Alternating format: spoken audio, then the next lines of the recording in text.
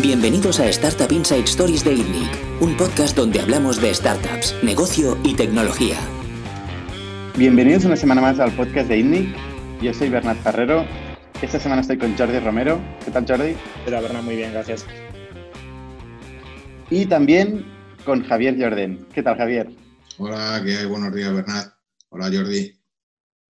Javier es experto en B2B Sales, eh, en ventas lleva una trayectoria muy larga eh, vendiendo, eh, gestionando equipos de ventas, escalando equipos de ventas y en toda la parte eh, de organización, de operación. Y es una persona con la que hemos hablado muchas veces, desde aquí, desde INNIC, desde Factorial, cómo, cómo gestionar nuestros equipos, cómo escalar, ¿no? las dudas típicas que tenemos los founders de cómo hacer el go-to-market. Nos conocimos eh, en, en, un evento en, Malta, de hecho. Así es, en octubre del año pasado. sí. Y, y, la verdad es que, que, fue muy interesante la conversación y desde entonces pues, pues seguimos, seguimos hablando. Em, nos gustaría, Javier, que nos contaras un poco, eh, en resumen, ¿eh? ¿cuál ha sido tu trayectoria? ¿En qué compañías has estado en funciones de ventas? Antes de entrar un poco en detalle en cómo, cómo organizar un equipo de ventas B2B, que es, que es lo que vamos a hablar hoy. Vale, bueno, pues si tengo que empezar por un principio, lo primero es decir que estudié la carrera de Ingeniería Informática hace ya muchos años, pero muchos, muchos. Qué buena elección. Y los tres aquí. Y al principio pues estuve haciendo funciones técnicas, estuve haciendo temas de programación, análisis funcional cuando se hacía ese tipo de cosas antes. Eh, pero luego ya rápidamente me moví a la parte de negocio y me incliné por el sector de telecomunicaciones. Entonces mi carrera profesional comenzó trabajando en el sector de telecomunicaciones con fabricantes de equipos de telecomunicaciones para grandes compañías y grandes operadores. Y estuve trabajando en telecomunicaciones hasta el año 2006 prácticamente, en toda mi carrera. Es decir, realmente la parte de Internet Llevo 14 años en ella. Son los últimos 14 años de mi carrera, pero vamos, en la parte de telecomunicación he estado trabajando en equipos comerciales y dirigiendo el negocio de compañías como Telefónica Data España en el año 99, donde estaba llevando todo el equipo comercial de Telefónica Data España con unos objetivos de 500 y pico millones de euros en aquel momento. Evidentemente era casi un monopolio. Aquello están compañías como Nortel, etcétera. Es decir, fabricantes de equipos de telecomunicaciones, sistemas de, fibra óptica, redes de fibra óptica de cable submarino, etcétera, etcétera.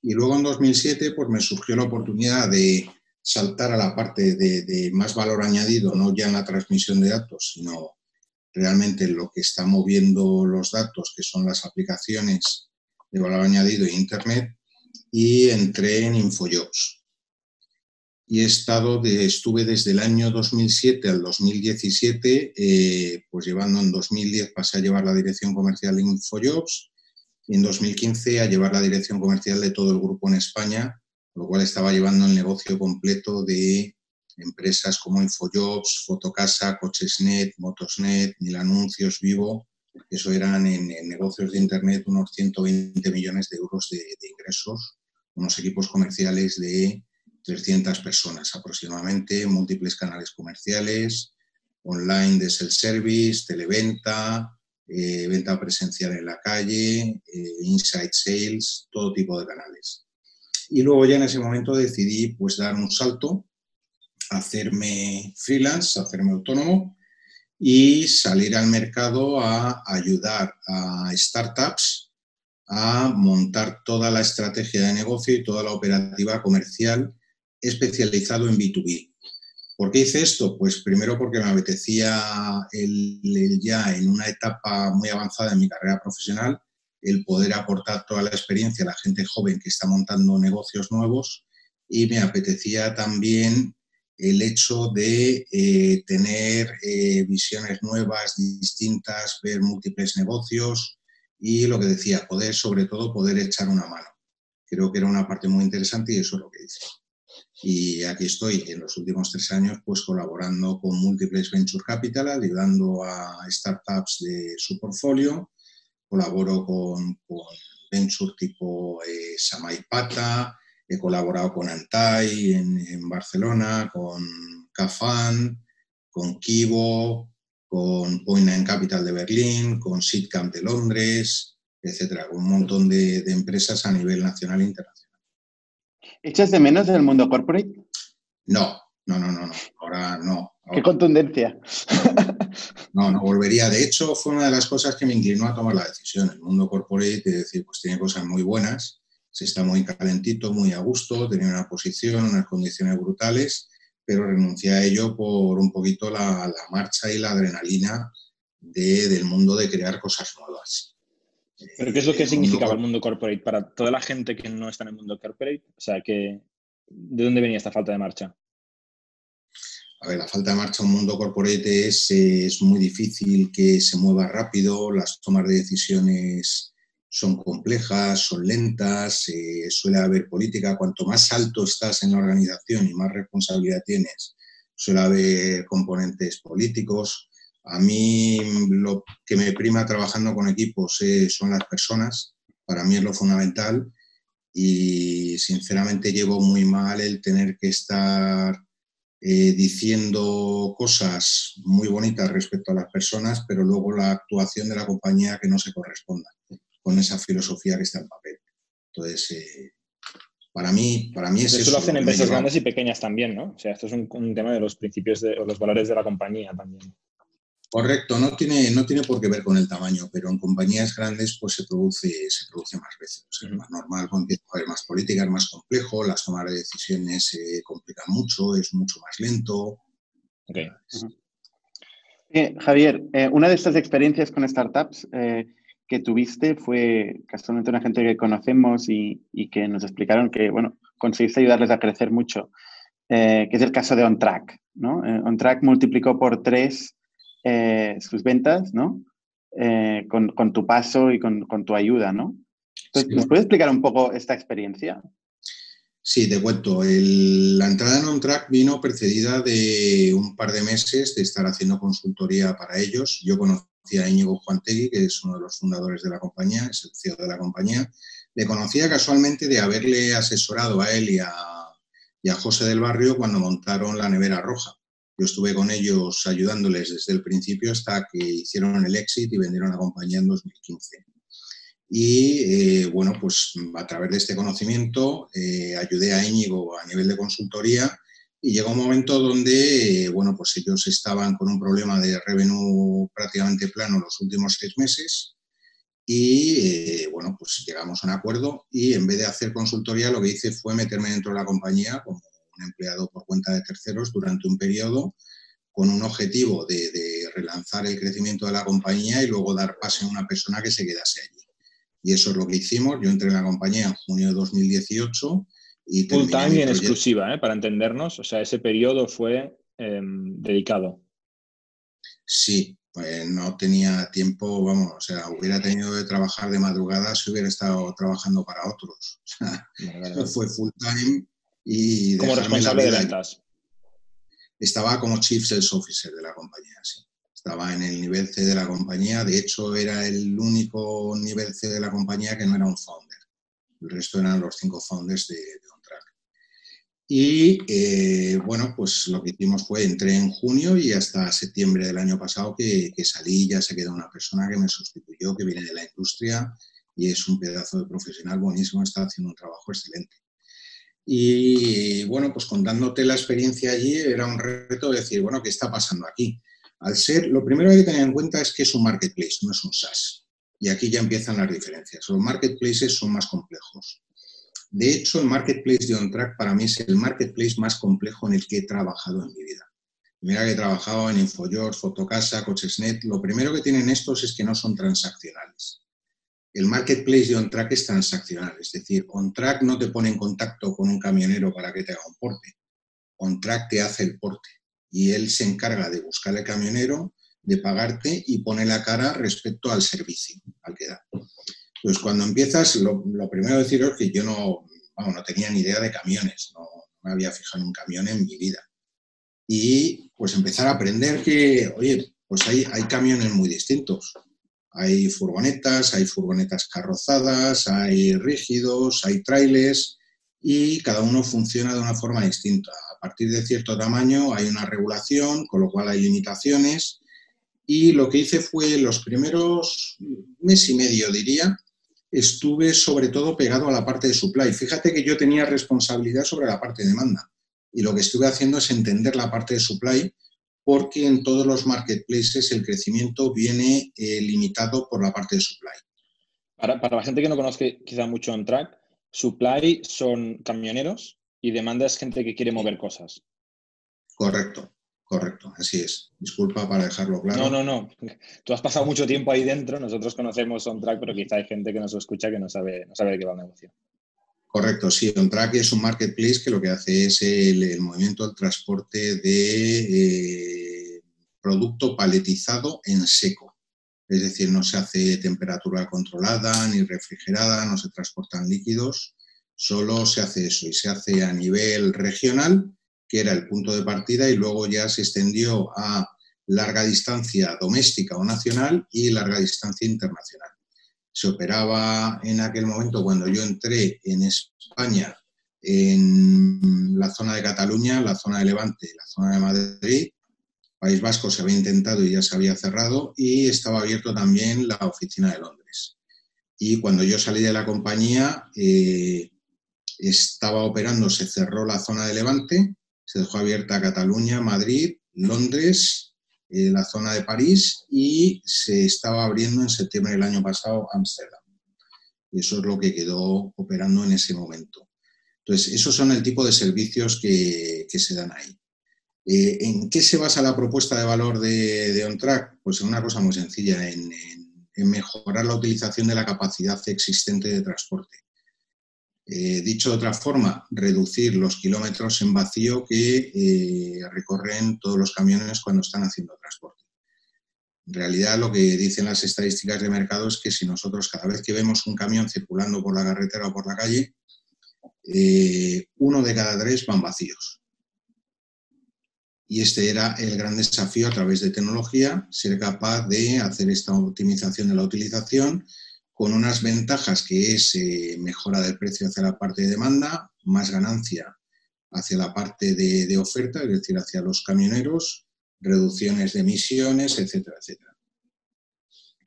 Y lo que os contaba es, eh, bueno, pues primero me dediqué a observar la parte de supply y una de las primeras cosas que me encontré es una falta de alineación de objetivos entre los distintos equipos de la compañía. Es decir, había sobre todo objetivos conflictivos si el equipo de ventas cumplía su objetivo, el equipo de operaciones sufría. Entonces eh, se había bajado a un nivel donde no había una unificación y lo primero que hicimos es tomar una decisión de alinear a toda la compañía bajo un objetivo único de volumen de cargas durante los seis primeros meses. Y eso fue lo que hizo eh, empujar a toda la compañía detrás como si fuera una, una flecha con una dirección con la potencia de toda la organización empujando detrás. Y eso ya genera una atracción brutal y eso fue un cambio fundamental.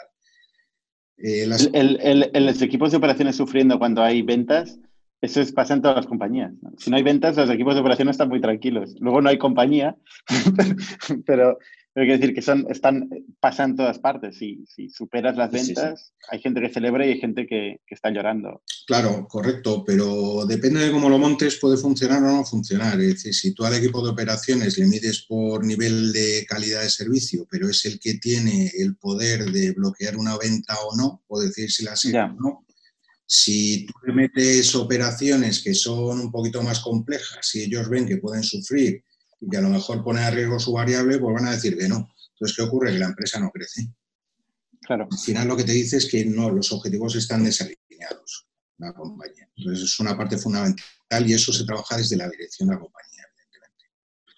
La otra parte que os iba a contar era, eh, bueno, me di cuenta de que los clientes eran todos iguales, la compañía. O sea, se trataba igual a uno que hacía una carga eventualmente que a uno que estaba haciendo 10 cargas al día.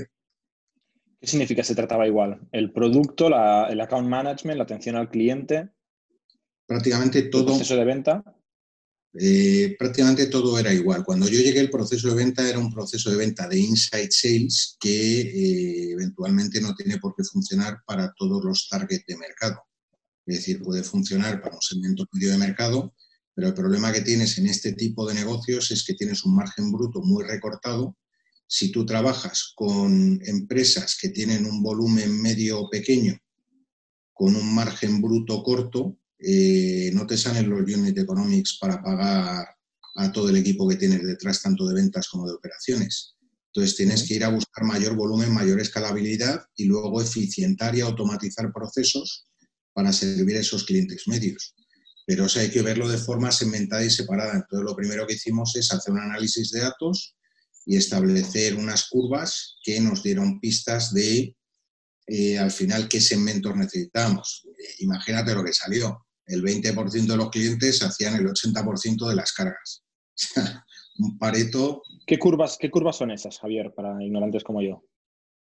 Bueno, una curva donde te dice cada cliente el volumen de cargas que hacen y tú lo ordenas de mayor a menor, es una serie de datos y entonces empiezas a ver puntos de corte para poder agrupar y agrupar comportamientos. O sea, en un eje tienes eh, cada cliente y en el otro el número de transportes que hacen el número de cargas al mes que hace, por ejemplo, para si quieres eh, verlo en una periodicidad. Para saber cómo está distribuida tu cartera de clientes entre muy intensos y poco intensos. Correcto. Fíjate que hablo de número de cargas, que no estoy hablando ni siquiera de facturación para no correlacionar o no meter la variable precio que, en un momento u otro podría llegar a influir. Simplemente la carga de trabajo, la carga de atención que necesita el cliente, tanto de ventas como desde la parte de operaciones. Entonces, eh, eso es lo que se hizo y se, trabajó con el equipo de Business Intelligence, que fue el equipo que nos hizo la sugerencia de qué cortes había que dar y qué ABC de clientes. Era una segmentación muy básica. Pero esto que hacía, pues que empezar a meter esa segmentación en la mentalidad de la compañía hacía que el servicio se debería de tratar a la gente de forma distinta. Es decir, no puedes tener la misma urgencia en cogerle el teléfono a un camionero que te ha hecho una carga en los últimos tres meses que a uno que está prácticamente trabajando de forma dedicada contigo. Una pregunta, Javier. Em, la, segmentación la, eh, la, hicisteis analizando el pasado, ¿no? Sí. Em, me, pregunto cuántos, cuántos segmentos eh, definisteis y qué criterio de segmentación teníais, no tanto para el cliente del pasado que podéis ver todas sus transacciones, sino de cara al cliente del futuro que todavía no os ha comprado. ¿Cuál es el criterio que, utilizáis para segmentar un cliente u otro? Volumen de cargas mensuales. Era, era ¿Cómo lo sabéis si es, nuevo, si es un nuevo cliente? Eh, hablando con el cliente cuando estás haciendo la prospección y de hecho cuando está el SDR haciendo la prospección, eh, una de las partes fundamentales es evaluar el potencial de negocio y de cargas que tiene ese cliente porque dependiendo de ese potencial le aplicas un canal u otro. Es decir, si es de altísimo potencial, le puedes meter un Key Account Manager, un vendedor senior. Si es un potencial medio, puedes meter una persona de Inside Sales. Y si es un potencial bajo, eh, que vaya a la web y que se sirva el mismo. Pues había tres segmentos Definisteis tres segmentos en este caso. Eh, tres canales comerciales en este caso, yo diría. Más que definimos tres segmentos, un ABC de segmentos. Vale. Y, canales comerciales dependiendo. Uno para cada segmento. Dependiendo del tratamiento, sí. El más óptimo en cada caso, teniendo en cuenta que eso debería reflejarse en unos unit economics saneados en el mercado. Y todo esto, claro, lógicamente multiplicado por geografías. Vale. Entonces, hemos hablado del el, primer caso fue ver la, estructura de objetivos de la, compañía desde, desde, dirección y alinear toda la, toda la compañía eh, en los mismos objetivos. El segundo fue segmentar a los clientes y establecer eh, recursos necesarios en cada cliente en base al segmento y asegurando la rentabilidad del go-to-market por segmento. ¿Qué más? Pues eh, lo siguiente es ya montar los equipos en la parte comercial para poder hacer el fulfillment de ese tipo de tratamiento. Es decir, la parte online, evidentemente no tienes que hacer nada, pero la parte de Key Account y de Insights sí. La parte online es el service, perdona Javier. Sí. Vale. O sea, ahí ventas no se mete, eso es producto. No, eso es, directamente producto, es decir, eh, ventas puede entrar porque puede haber clientes de un comercial que para una contratación de algo inesperado que le surge de repente, lo que se llama un spot, eh, pues entra en la web y lo contrata directamente. Es decir, pone... ¿Y alguien tiene un objetivo de ventas en, producto que dice, yo tengo que llegar a meter un millón de ARR o de GMV, lo que sea que me dierais? Bueno, el CPO de la compañía es miembro del equipo de dirección y tiene el mismo objetivo que todo el equipo de dirección de, cargas o de ingresos de la compañía. Y luego ya pues hace su distribución interna dependiendo de los sistemas de compensación de cada equipo. Es difícil de predecir eh, la parte, la contribución del online, ¿no? de la parte de self-serve, de producto. al final, si tiene mucho impacto en las ventas, eh, ¿cómo se hace el business plan? Es, complicado de predecir y es el que es más sensible a la posible situación favorable o desfavorable del mercado. En este caso yo te puedo hablar de la experiencia, por ejemplo, en un InfoJobs, donde en el canal online se hacían ventas mensuales superiores al millón de euros a través del canal web. Entonces, esto tiene sentido cuando tu tipo de servicio es factible de ser servido y que el cliente se lo suministre a sí mismo y se haga todo, prácticamente se ha automatizado eh, y luego si tienes un potencial, un target market potencial, que es un long tail de clientes, es decir, muchos miles de clientes con un ticket medio muy pequeñito. Es el negocio B2C. El, problema, el problema, claro que se puede predecir eh, los negocios B2C o los negocios de, small business que tienen self-serve online. El problema es cuando tienes una compañía que está basada en un inside sales, en, un crecimiento por ventas, y, eso tiene un split del 90%, 80%, y luego tienes un 20% que es self-serve. O sea, al final, tú controlas el crecimiento con una palanca u, otra, ¿no? Si estás centrado en, crecer con vendedores, eres un tipo de compañía. Si estás centrado en crecer con producto y marketing, eres otro tipo de compañía. Y vivir, convivir los dos es muy difícil, sobre todo en startups. o al menos es, es, mi experiencia. A ver, mi experiencia es que se puede hacer convivir, pero depende del tamaño de compañía. Como estamos hablando de startups y fundamentalmente en early stage o una serie A, eh, aquí, evidentemente, yo nunca recomendaría eh, ir a pegar un tiro al, long tail de mercado con un service de arranque, porque eso necesita una escalabilidad brutal en volumen para que te salgan los unit economics de la compañía. Entonces, salvo que lo tengas muy claro y que tu negocio, como lo has definido, sea muy parecido a un B2C, yo no lo recomendaría. Normalmente los dos segmentos que se suelen trabajar son los de los grandes clientes y la capa media el ideal en cuanto a unit económico, el, perfecto, es la capa media de mercado. ¿Por qué? Porque tienes mucho volumen de clientes, un ticket medio que puede ser más o menos razonable y un coste de ventas eh, a nivel organizativo y a nivel económico muy razonable. ¿Por qué? Porque lo sueles trabajar con lo que se llama inside sales, es decir, comerciales que tienen un coste relativamente razonable, que tienen un buen expertise, pero que no salen a la calle a vender y que no te obligan, según vas haciendo expansión geográfica de tu negocio, no te obligan a hacer un despliegue local de recursos, que eso empieza a complicar muchísimo la organización. Pues para mí esa es la situación ideal. Para poner números a esta situación ideal, si, si hay un emprendedor que nos está escuchando y se está debatiendo de si tiene sentido hacer inside sales o no, eh, ¿qué números tendrían que salir? O sea, ¿cuánto tiene que costar el producto? ¿Qué cuesta al vendedor? Cuántos tiene que vender al mes. ¿Cómo haces este, esta regla, rule of thumb? A ver, el rule of thumb en un, en un SaaS, eh, por ejemplo, de, mercado. En, España, claro, porque eso será diferente en San Francisco, donde un vendedor te cuesta cinco veces más.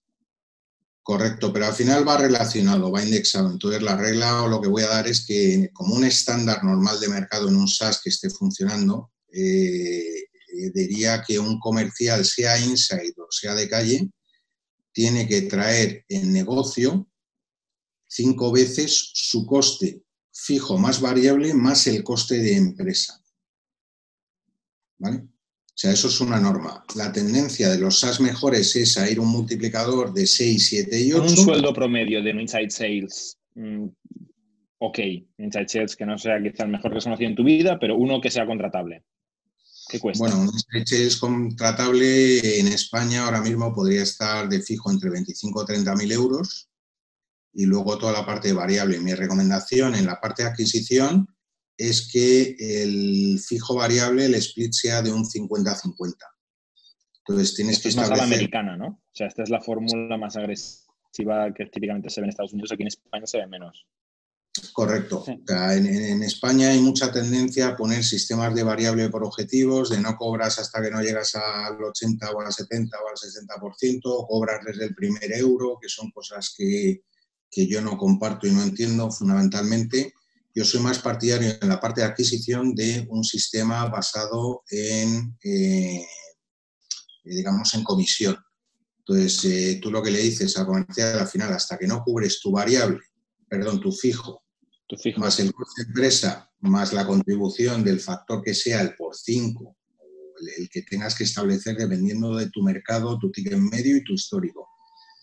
Ahí tienes un multiplicador, hasta que no llegas ahí tú no cobras comisión. A partir de ese momento estableces una comisión que tienen que ser sistemas muy sencillos, del tipo por cada euro que traigas de MRR yo te pago un euro de variable cosas de este tipo. Hay que hacer los cálculos, por ejemplo, un, por un euro de MRR, pagar dos euros de comisión, supone que estás pagando casi un 17% de comisión en esa parte. Es decir, eh, tienes que establecer, tienes que hacer tus números para ver cómo te sale, pero lo bueno que tienes es que son sistemas de comisión muy claros, muy directos, no están ligados a objetivos y lo que hacen es premian al que funciona bien y vende bien y sacan del sistema al que no cumple objetivos. Y no pagan comisión hasta que no cubres tu sueldo fijo. No, entiendo por qué no estar. Ay, perdona. Bueno. Eh, no, no, eh, sigue, sigue, sigue. Luego sigo con los números. No, entiendo por qué el no estar eh, correlacionado con los objetivos es una cosa buena. Porque si no, al final, si la gente cobra por comisión, el problema de los sistemas por comisión y no los sistemas por objetivos es que la gente hace sus números y si sus números les salen bien, tus números les da igual digamos, ¿no? Tú, tú como manager mm, tienes un objetivo de ventas eh, y tú quieres asegurarte que todo el mundo tiene este objetivo de ventas, que está bien repartido en el equipo. Pues si la gente cobra por comisión, em, no tienen por qué llegarte al objetivo. ¿O no es tu experiencia? Eh, mi experiencia es que es mucho más justo y mucho más motivador para los comerciales, los que están en la parte de adquisición de cliente, la parte de comisiones. Una cosa es que no les midas por el objetivo a la hora de pagarle la comisión y otra cosa es que sepan que tienen que llegar a un objetivo y darles una dirección. Es decir, los objetivos se reparten, se calculan, se comunican exactamente igual. Otra cosa es que tú no le pagas en función del porcentaje de logro que ha hecho con respecto a un objetivo, sino que le pagas una comisión por las rentas que ha realizado. Y estás protegiendo los unit economics de la compañía. Con esa definición de sistema de compensación, los unit economics funcionan desde el primer comercial hasta el comercial número 1000 en la compañía, es decir, es completamente escalable. Segundo, puedes utilizar parámetros que te permiten flexibilizar las distintas situaciones. Y eso se utiliza el multiplicador, el por 5 este que he mencionado antes. Si tú vas a abrir una geografía nueva, no le puedes pedir al comercial por 5 arranque. A lo mejor tienes que empezar pidiendo un por 1, por 2, por 3, por 4. A lo largo del tiempo lo vas llevando hacia adelante el equipo comercial. Lo mismo, un comercial que entra de nuevo en una geografía existente, no le puede pedir el primer trimestre un por cinco. Lo tendrás que ir desarrollando y llevando. Un por cinco significa, em, mirando una PNL, que si ingresamos mil euros, si un comercial genera mil euros, nos tendría que estar costando 200, ¿no? Y el resto de 800 euros tiene que incluir el coste de servir el producto, el coste de marketing, el coste de estructura, etcétera. O sea, por eso es un por cinco, ¿no? Porque tiene que haber los márgenes y tiene que haber los otros costes de, captación, de margen de Correcto. Y, el, y, el, profit, que, siempre nos lo Y al final de todo queda el profit. Correcto, y eso es como un benchmark que, más o menos estándar que viene de la parte más de Estados Unidos de eh, los profit and loss de las empresas SaaS allí que ya han cogido experiencia. decir, En el ejemplo de Jordi, cuando hablamos de 1.000 euros, 1.000 euros es eh, facturación anual del cliente que se metió, no facturación mensual. y el coste es el coste, es el coste mensual que tiene. Que tú comparas el coste mensual de esta persona con la facturación anual que ha contribuido a la compañía. Correcto. Exacto. En un mes. Y esto tiene que ser cinco veces. Sí. Sí, de hecho, yo iba a hacer el, cálculo, ¿no? Antes con el rángulo de sueldos que has dicho, vamos a simplificar, vamos a decir que un vendedor con experiencia promedio Inside Sales nos cuesta 5.000 euros coste empresa al mes. 5.000 euros empresa al mes de fijo o total? Total. Vale, total. Ah, esto sería. Sí. Sería un poquito más. vamos a poner 5 para, para redondear. Eso significa que este vendedor en un mes tiene que meterte 25.000 euros de revenue, que en el caso de un SaaS sería de ARR, ¿no? De Annual Recurring Revenue. Correcto. O sea, un MRR de unos 2.000, 2.000 y pico euros. Correcto. Eso te cuadra. Un vendedor que es capaz de meter unos 2.000 euros de MRR en un mes está en un, en un rango razonable. Hay una variable que hay que mirar en ese momento porque esto lo que sí te obliga a ese sistema es que lo tienes que hacer para cada comercial porque los sueldos varían de uno a otro. No, no, claro. Esto es asumiendo estos 5.000 euros de coste empresa. Claro, si te cuesta el doble, va a tener que meter 4.000 euros de MRR al mes. Pero hay que mirar el tipo de cliente que lleva y el ticket medio de ese tipo de, tipo de cliente. Es decir, porque por un lado le puedes favorecer muchísimo a esa persona pues si trabaja con clientes muy grandes, con un ticket medio muy grande, con que haga a lo mejor medio cliente, ya tiene cubierto su objetivo, el de compañía. Y sin embargo, puedes tener otra persona que va a cliente con un ticket medio más bajo que es prácticamente imposible que lo cumpla. Entonces, pues vamos a volver al, caso de que hemos entrado en mucha profundidad en compensation, que es una parte de las, de las que a hablar, pero eh, volvemos al, al, proceso este de cambio, ¿no? Porque de golpe, ostras, llega un señor ahí en la compañía, empieza a hacer cambios cambios, cambios, cambios, ¿no? Eh, vamos a cambiar los objetivos. Tal. ¿Y cuándo empieza esto a, moverse? ¿Cuándo empieza a moverse? ¿Qué, más hiciste hasta que... ¿Y cuándo empezó a moverse la compañía, a crecer? A ver, yo lo que hice fue montar un storytelling para toda la compañía hasta final de año, desde cuando yo entré, que es cuando empezamos a meter este cambio de alinear objetivos y el objetivo que se había comunicado del volumen de cargas de compañía lo que hice es montar una historia con una analogía de subir el Everest, toda la compañía, con etapas, campo base 1, campo base 2.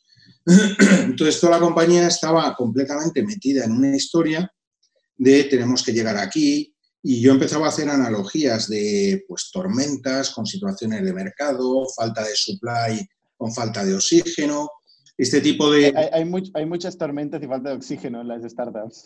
Entonces, es bastante habitual. Esto es lo que se hizo y fue una evolución, se empezó ya no tan en septiembre, octubre, y justo hay un pico de transporte que se produce en el mercado que es en final de noviembre, que es ya en la zona cuando está ese Black Friday y el principio de las Navidades, y ahí es cuando se produce el pico.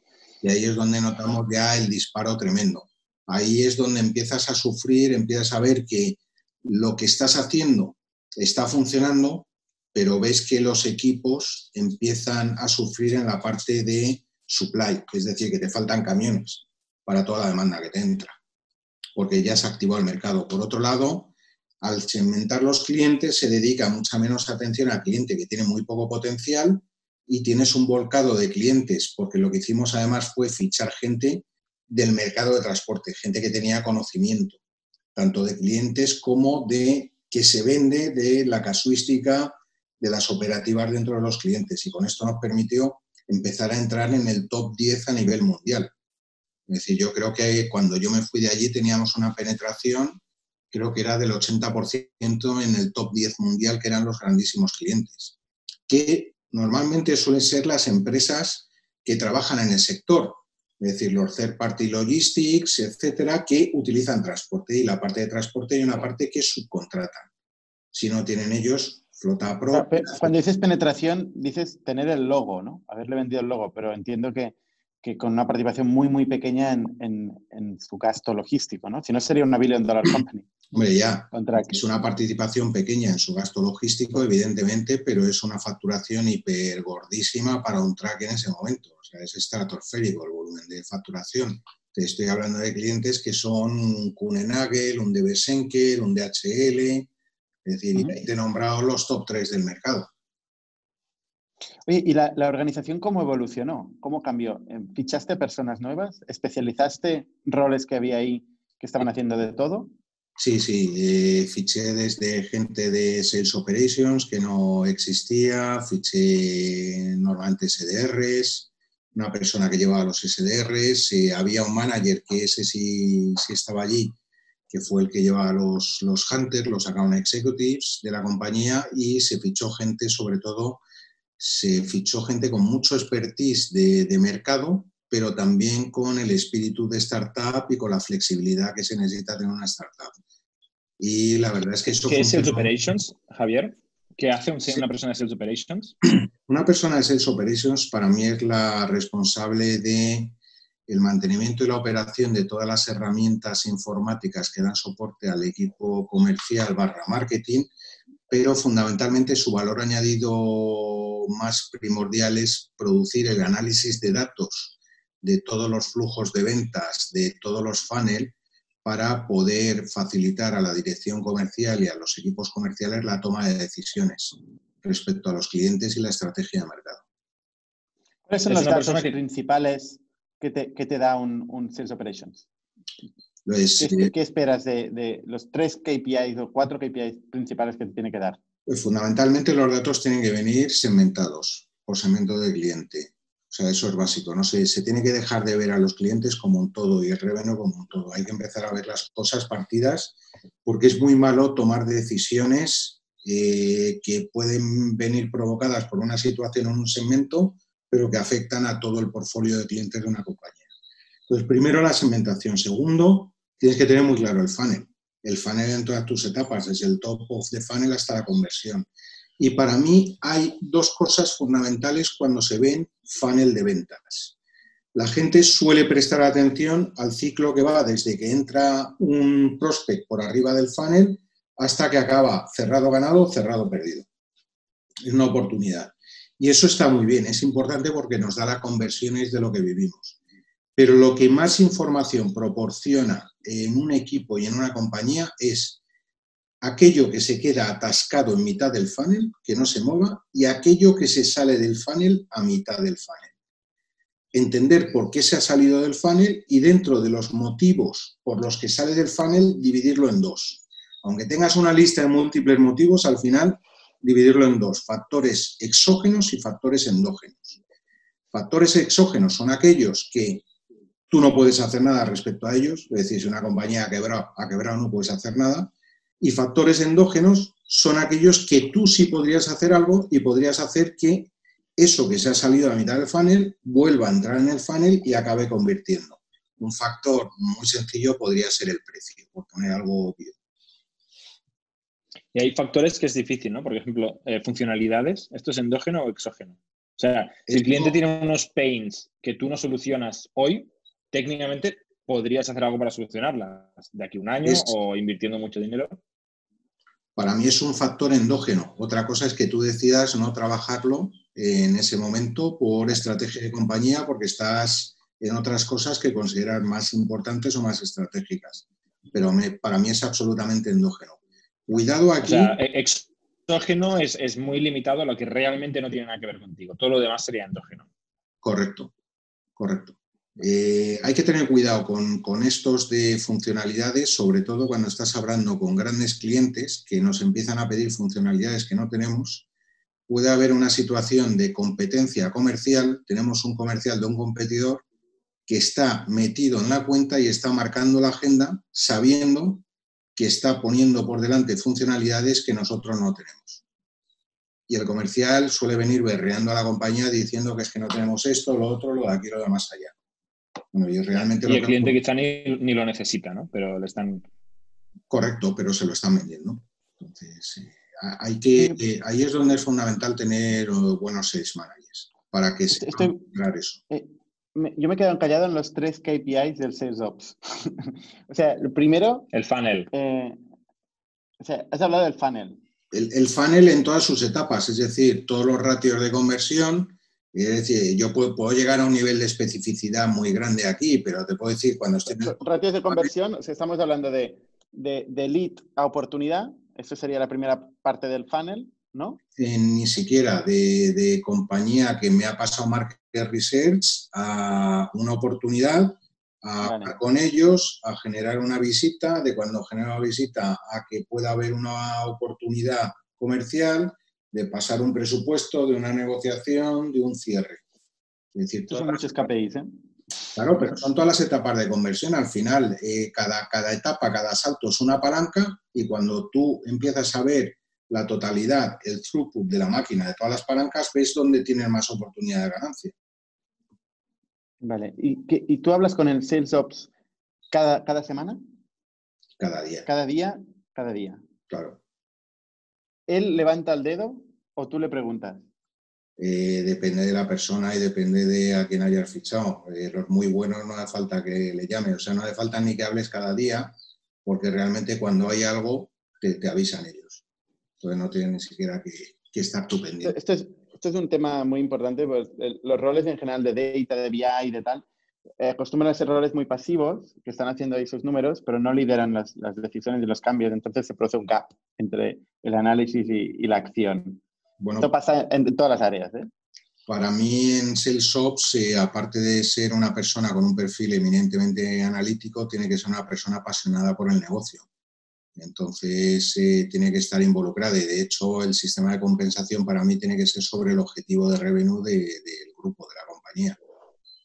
Vale. Oye, has hablado antes de, de, la parte de fichaje que buscabas vendedores que tuvieran experiencia en la industria. Sí. Em, esa es una pregunta que también nos hacemos muchas veces, ¿no? O sea, un vendedor puede vender cualquier cosa. Para ti, ¿qué es más importante? ¿Cuáles son los factores que ves en, un rol de vendedor eh, que tienen que tener? Sí o sí. A ver, depende de qué tipo de vendedor. Es distinto un hunter. Contract, contract. Ya, pero, pero cuidado que es distinto un hunter que un farmer. Muy distinto. Hunter. Un hunter. Farmer, diríamos, eh, sería otra conversación, otro podcast que también lo haremos algún día. Para mí el tema de producto es un tema que se supone que un comercial eh, tiene que acabar conociendo. Es parte de su formación inicial del onboarding que tiene que dominar el producto. Eso es como, no sé cómo se decía en la mili, se le supone. ¿vale? O sea, eso es básico. Entonces, yo lo que busco en buenos comerciales, cuando la venta empieza a ser un poquito compleja, es decir, el producto puede ser un poquito más eh, enrevesado de vender, lo que busco es alguien que conozca el negocio del cliente. Porque al final lo que hay que buscar es el hueco de necesidad en el cliente en su negocio para empotrar tu solución y que haga una aportación de valor, una mejora al negocio del cliente. En ventas es como vives de eso.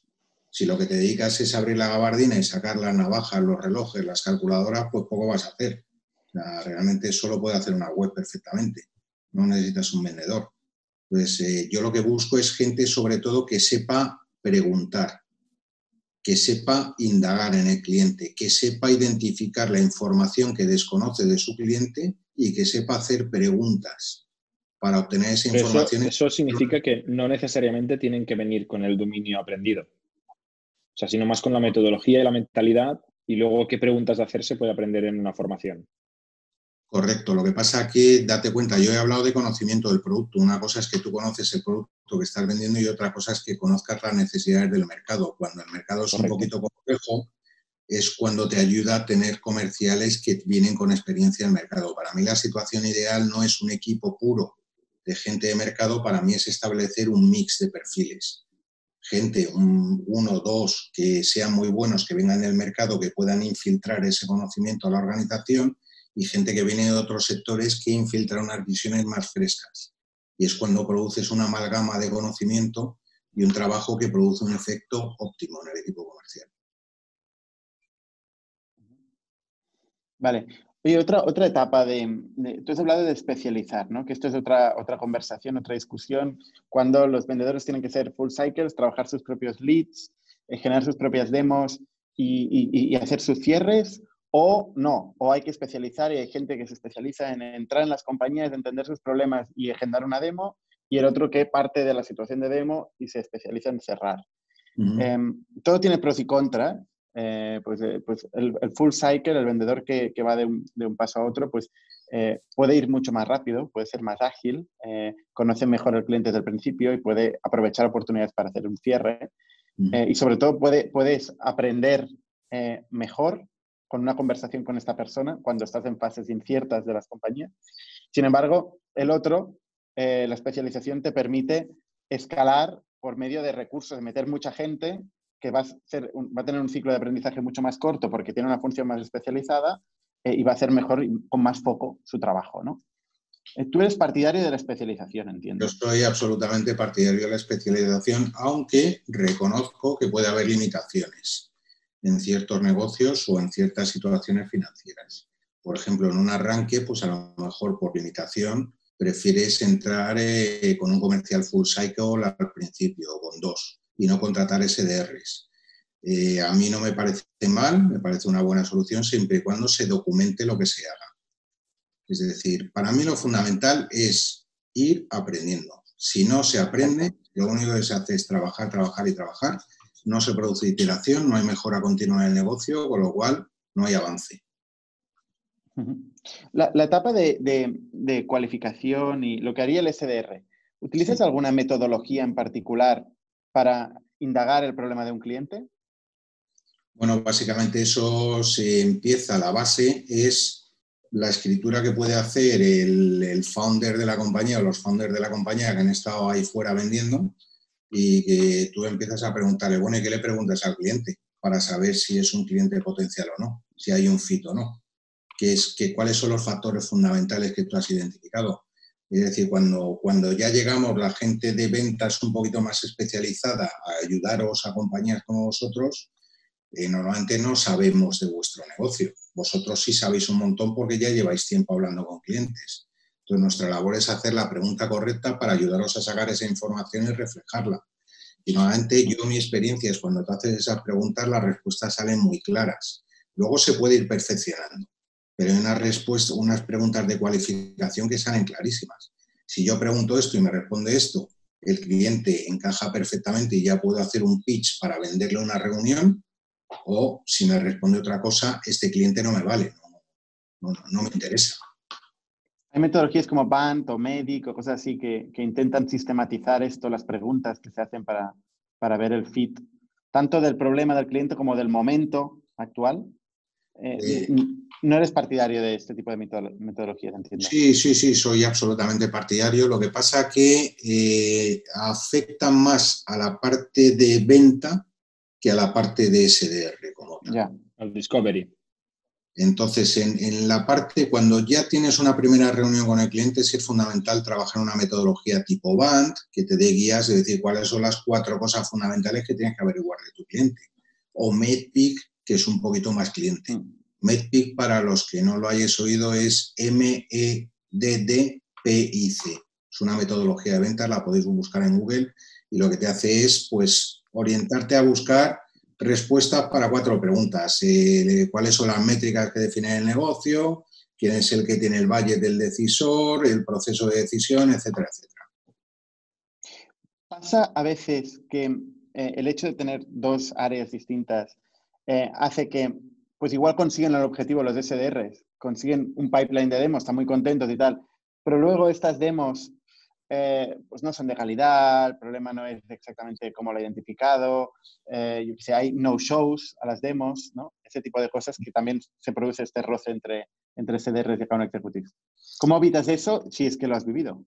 Eh, lo he vivido, evidentemente, y se produce. Lo que tiene que hacer es hay una vuelta atrás, es decir, no es una productividad positiva del equipo de SDR, si hay que darles un feedback y a través de un manager esto al final, cómo se trabaja. Hay una parte fundamental cuando hay gestores de equipos que es el acompañamiento en visitas. Se me da lo mismo una visita cara a cara con un cliente para ver qué es lo que está pasando, escuchar y poder dar feedback al comercial, como escuchar llamadas de los SDRs. Escuchar llamadas de los SDRs para mí es igual que antes un directivo antiguo eh, se leía por la mañana media hora el periódico en papel, pues una persona que lleva equipos de SDRs todas las mañanas tendría que escucharse aleatoriamente cinco llamadas de su equipo y empezar a coger información de ahí y decir, esta me la guardo para mostrársela al equipo, pero no es una cuestión de penalizar al equipo, sino realizar aprendizaje, iterar.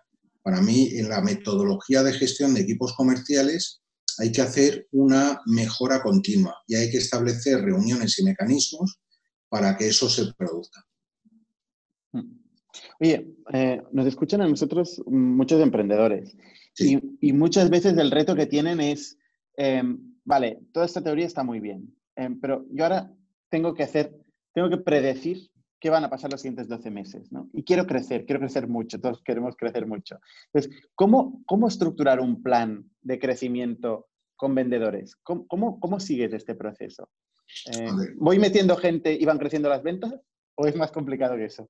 Eh, creo que es un poquito más complicado, pero normalmente cuando ves un plan de negocio a estas alturas eh, suelen ser unos Excel básicos en ese sentido, que si es decir, tú haces una proyección de que me entra un vendedor este mes, tarda tres meses eh, de rampa de producción y su producción ya a ese nivel, pues creo que va a traer tantos ingresos durante los meses, veo la estacionalidad de mi negocio, si es que la conozco perfectamente y hago una proyección de ese tipo. Pero es un poquito más complejo porque depende de la estructura comercial. El vendedor vende, pero tiene delante un SDR, tiene dos, no tiene ninguno, ¿cómo lo hace? Es decir, hay que ver la factibilidad de aquello que estás poniendo en el Excel. El problema del Excel es que el Excel lo aguanta todo y toda la gente que trabajamos en startups tenemos la presión en el cogote de la financiación y de los venture capital y de tener que mostrar unas cifras, unas curvas de crecimiento estratosféricas. Y como digo, el Excel lo aguanta todo, pero luego las cosas se caen por su propio peso. Entonces, se hacen cosas, yo no soy partidario de hacer estructuras súper complejas, soy partidario de hacerlas muy sencillas, pero que haya una correlación entre la organización que tiene que traer los revenues, sea cual sea el canal que sea, y ver las productividades allí y, el plan de negocio de la compañía. O sea, eso tiene que estar. esto significa que tú dices, si tú quieres meter, por ejemplo, 100.000 eh, euros de MRR, lo, rompes en cuántos vendedores necesitarías para meter esto y entonces vas haciendo, pues pongo dos aquí, meto 5.000 más, pongo cuatro aquí, meto 10.000 más. Lo, Correcto. Lo relacionando siempre con productividad por vendedor. Eh, normalmente sí, porque si el canal es un vendedor, sea insight, sea cara a cara, sí, lo que tengo que ver es primero que me, me, tengo que crear la productividad, si es mensual, mensual, de ese tipo de vendedor y el target market al que se dirige. Y segundo... Que esto ya está definido porque son cinco veces su salario, ¿no? Con la regla anterior. Bueno, sí, pero tienes que ver el ticket medio, tienes que ver el target market al que se dedican, puede haber target el market... de ventas. Donde tengas experiencia y otros donde vayas a buscar product market fit. Entonces no puedes hacer una extrapolación, no es lo mismo en todos los mercados Luego, por otro lado, tampoco puedes hacer, es decir, eh, vuelvo, vuelvo a insistir, el, el, Excel lo aguanta todo, podemos colocar la cifra que queramos y podemos hacer una productividad por comercial. Pero si yo veo un Excel que me dice que en dos meses tengo que crecer de 10 comerciales a 20, te digo que ni de coña, que eso no ocurre. O sea, que fichar a la gente, que educarla, que hacer un onboarding correcto lleva tiempo. Entonces, y tampoco es sano hacer unos crecimientos tan brutales. ¿Dónde, nos equivocamos más al hacer un plan como este?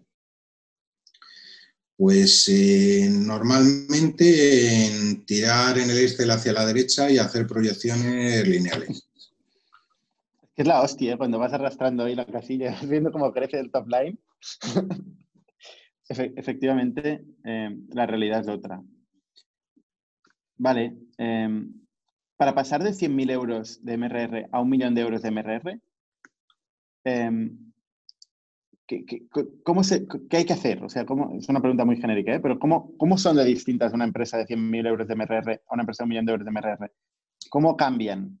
Eh, depende del negocio y del ticket medio que tengas por cliente. Es decir, las estructuras son completamente distintas. No es lo mismo pasar de 100.000 a un millón con un MRR de 200 euros por cliente a uno que tenga 10.000 euros de MRR por cliente, no tiene nada que ver. En un caso tendrás una estructura comercial que es de una venta más compleja, un producto más caro, de más alto valor añadido, por lo menos percibido en el mercado, un ciclo de ventas más largo y en el otro caso lo que tendrás es una situación de volumen, con canales gestionando volumen. Entonces, para, para mí es, tienes que ver en, en dónde estás en cada caso y ver qué es lo que necesitas montar en cada caso entender el negocio. No hay una receta, ¿eh? eh no, hay, una receta de oro, te tienes que meter, remangarte, eh, mirar el negocio y empezar a ver cuáles son las piezas clave del negocio.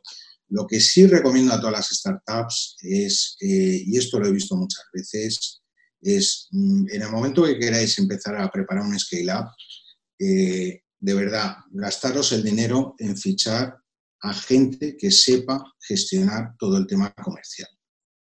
Es decir, que, decir que son muy caros, pues no sé si son caros, pero es que al final lo barato sale caro. ¿Por qué? Porque lo que suele ocurrir es que eh, ves unos castañazos importantes. ¿Qué digo fichar a un especialista? O sea, ¿qué quiero decir con fichar a un especialista? Quiero decir fichar a alguien que ya lo haya hecho. Es decir, no fiches a una persona para llevar toda tu organización comercial y toda tu estrategia de negocio en tu startup que venga a aprender eso en tu startup. Ficha a alguien que ya lo haya hecho.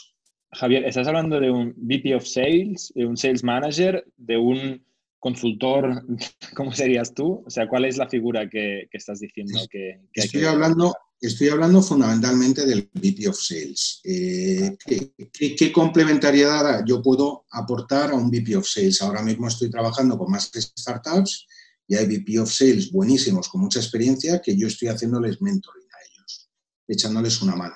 Pero ¿En qué momento hay que contratar VP of Sales, Javier? Eh, para mí en la serie A casi seguro. O sea, te diría en el momento que estás ya, que acabas de recibir o estás a punto de recibir los fondos, fíchale porque es el que tiene que hacer el scale up. Ahí seguro, si no antes, dependiendo del negocio. ¿Vale? Hay gente, pues por ejemplo, estaba comentando antes con Bernard, la gente de COVID, tienen un VP of Sales que es fantástico, con el cual estoy trabajando, y estos todavía no han hecho serie A, y les está funcionando y les está yendo como un cohete. Y es una persona que trabajar con él es una gozada. Además, le permite al CEO dedicarse a temas que son importantísimos en la compañía y que ahora tiene tiempo que tiene una persona que es un especialista en ventas. Pero claro, ha llegado a la empresa a hacer lo que ya ha hecho antes, ha llegado a ejecutar. Y evidentemente todos aprendemos todos los días, pero no aprende desde cero. Mm. Oye, Javier, una pregunta, eh, y creo que tenemos que ir acabando. la, la, relación de ventas con producto, ¿cómo debería ser para, para que una compañía crezca bien? Entiendo que alineada y tal, ¿no? Pero, pero ¿cómo, ¿cómo se deberían relacionar? ¿Qué, ¿Qué, reuniones deberían tener? ¿Qué inputs y outputs deberían tener entre producto y ventas para que esto funcione bien? Para mí, sobre todo en la parte de ventas, hay que pasarlo por el tamiz o el filtro de unos buenos sales managers o el VP de ventas para eh, que sea capaz de filtrar la paja del heno. Es decir, realmente qué cosas son una oportunidad para la compañía y puedo más o menos dimensionar en un monto económico y qué es lo que tengo que hacer en producto para poder acceder a esa oportunidad. Y entonces ahí ya trabajar dentro del equipo de dirección para ver cómo se prioriza eso, si se hace o no se hace. Es decir, tiene que haber un feedback estructurado y claro por parte de ventas a producto. Y luego, por otro lado, creo que es fundamental que producto acuda a visitas comerciales a ver a clientes, a hablar a clientes. O sea, producto lo veo en muchas startups, están en su nave, ahí escondidos, inventándose el mundo y hablan muy, muy poco con clientes. Y esa parte es fundamental. Mira, yo una de las empresas que más flipé eh, cuando vi cómo estaba montada fue Mil Anuncios, cuando lo compró el grupo Sipstead, que era donde yo trabajaba yo vi aquello y dije, joder, tiene que ser, mira que el interfaz no puede ser más horrible, mi anuncio no puede ser más, más feo, coño, pero tiene el tráfico que tiene porque funciona. Aquello funciona y daba servicio a la gente y da servicio a la gente. Y cuando lo vi dije, ¿cuántos empleados hay aquí? Ocho. Y estaban todos en una mesa alargada y los que estaban con emails, con feedback de clientes, estaban al lado de los desarrolladores y los desarrolladores estaban desarrollando en caliente cosas, arreglos para lo que estaban pidiendo los clientes. Entonces, claro, la velocidad de evolución del producto y el estar tan pegado a los usuarios hacía que el producto fuera como si estuviera diseñado por los usuarios. Y entonces eso hacía que, que fuera un multiplicador. Y creo que eso hay muchas veces, y sobre todo en B2B, que en los equipos de producto nos falta. ¿Y, los vendedores que, em, que venden roadmap, qué les dices? ¿Venden futuro, digamos? Pues que están em. un poquito muertos. Porque el futuro lo veo complicado facturar. No, pero dicen, o sea, vamos a tener no sé qué, ¿no? O sea, que en vez de, de vender lo que ya está en producción y están, se está utilizando, se están yendo a producto y están diciendo, oye, ¿qué vamos a sacar? Tal, vamos a sacar esto, esto, esto, ¿no? Y, y encuentran, evidentemente, pues las necesidades en el mercado para estos productos, para este producto futuro que vamos a tener en el corto medio plazo. ¿Es buena idea vender a clientes en base a lo que vas a hacer en el futuro? yo, no, soy partidario, pues si yo soy el cliente, te diré, pues vale, cuando lo tenga, vuelve y hablamos. Hasta luego. Entonces, eh, no he hecho nada.